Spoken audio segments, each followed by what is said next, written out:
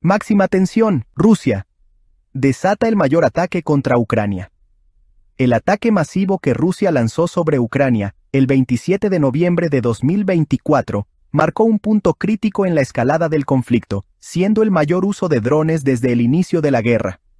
Un total de 188 drones Shahed de fabricación iraní, junto con varios misiles balísticos y de crucero, fueron dirigidos contra objetivos estratégicos e infraestructura clave en Ucrania, dejando un rastro de destrucción que afectó viviendas, instalaciones energéticas y otros servicios esenciales. Este evento resalta una intensificación en la estrategia rusa, orientada a desestabilizar a Ucrania antes del invierno, buscando debilitar tanto su capacidad militar como la moral de su población. El ataque afectó múltiples regiones, incluidas Kiev, Odessa, Dnipro y Sumy, cortando el suministro eléctrico y causando daños significativos en infraestructura civil. En la región de Sumy, por ejemplo, un taller de reparación de automóviles fue destruido, dejando al menos dos muertos y varios heridos. La destrucción de instalaciones energéticas se considera un intento de complicar la supervivencia de la población civil durante los meses invernales, una táctica ya observada en inviernos previos de la guerra. La Fuerza Aérea de Ucrania afirmó haber interceptado la mayoría de los drones y misiles, pero incluso un pequeño porcentaje de impacto puede tener consecuencias devastadoras debido a la naturaleza concentrada de los objetivos.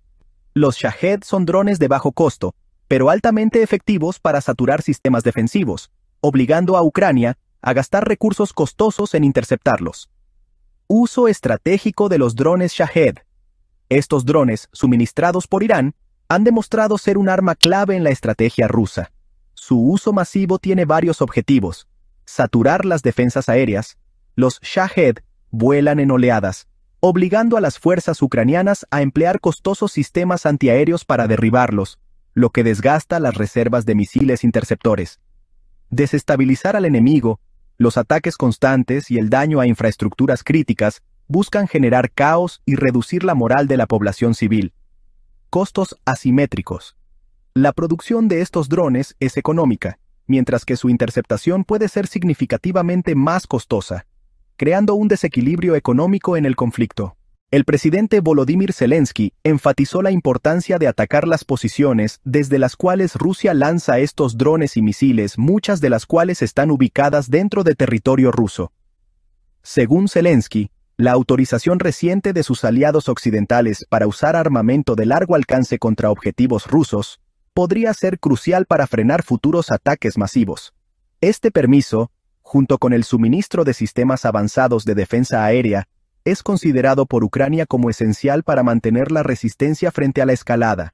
Además, Zelensky destacó la necesidad de abordar los métodos que Rusia utiliza para evadir sanciones internacionales y adquirir los componentes necesarios para fabricar y operar estos drones.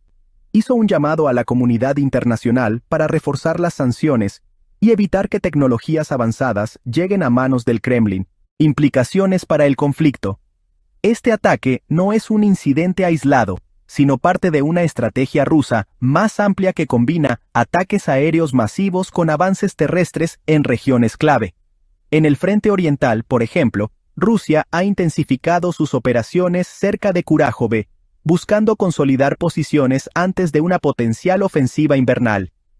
Esto subraya una doble estrategia, presionar militarmente en el campo de batalla y desestabilizar al país mediante ataques a infraestructura crítica. Desde una perspectiva geopolítica, estos eventos también envían un mensaje a los aliados occidentales de Ucrania. Rusia parece buscar desmoralizar no solo a los ucranianos, sino también a los países que apoyan a Kiev, mostrando su disposición a intensificar el conflicto si las armas occidentales continúan llegando al frente. Retos y necesidades futuras. Ucrania enfrenta el desafío de mantener la efectividad de sus defensas aéreas, que están siendo constantemente puestas a prueba por los ataques rusos. Aunque los sistemas de defensa como el NASAMS y el Patriot han demostrado ser efectivos, las reservas de munición son limitadas, y la frecuencia de los ataques amenaza con sobrepasar la capacidad de reposición. Asimismo, la protección de infraestructuras críticas como plantas de energía y sistemas de suministro de agua requerirá tanto inversiones significativas como innovación tecnológica.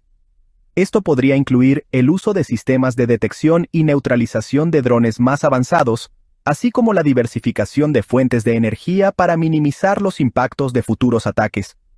En resumen, el ataque masivo con drones y misiles realizado por Rusia subraya una escalada significativa en el conflicto, evidenciando el uso de tácticas diseñadas para desgastar las capacidades defensivas de Ucrania y debilitar la moral de su población. Mientras Rusia utiliza estos ataques como una herramienta estratégica, Ucrania busca adaptarse y fortalecer su resistencia mediante la colaboración internacional y la innovación tecnológica.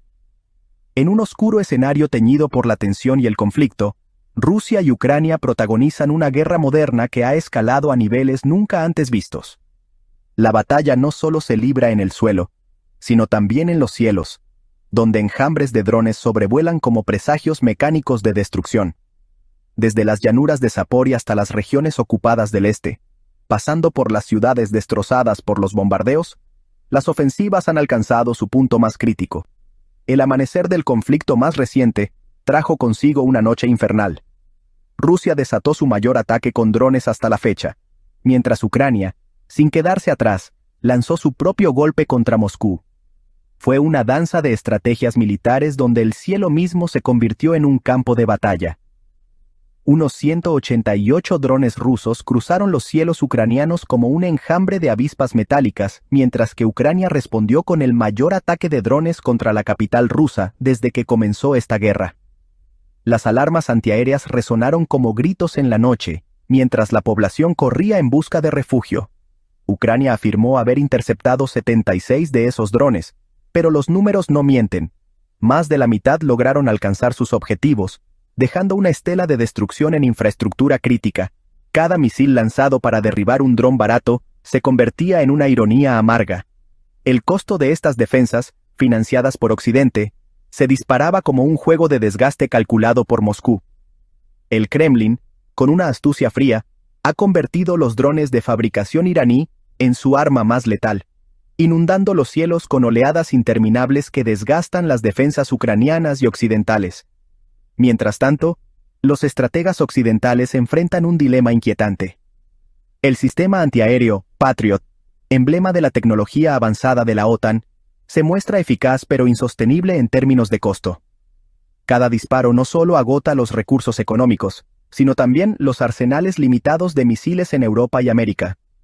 A cada hora que pasa, las defensas se ven más comprometidas, dejando entrever un futuro incierto para Ucrania y sus aliados. En las sombras, Rusia consolida alianzas que desafían el orden mundial. Irán y Corea del Norte se han convertido en pilares clave de su estrategia. La producción masiva de drones y misiles por parte de estas naciones otorga al Kremlin un flujo constante de recursos, mientras que la maquinaria occidental lucha por mantener el ritmo. La guerra, lejos de ser un simple enfrentamiento, se convierte en un ajedrez geopolítico donde cada movimiento tiene implicaciones globales. Recuerda descargar el informe gratuito con el link de descarga en la descripción.